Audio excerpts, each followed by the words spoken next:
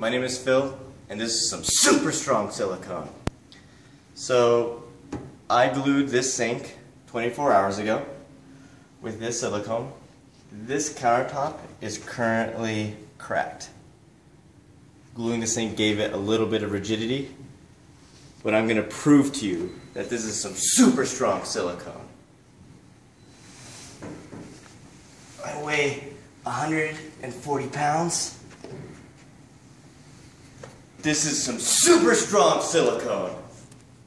My name is Phil, and this is some super strong silicone. Wow.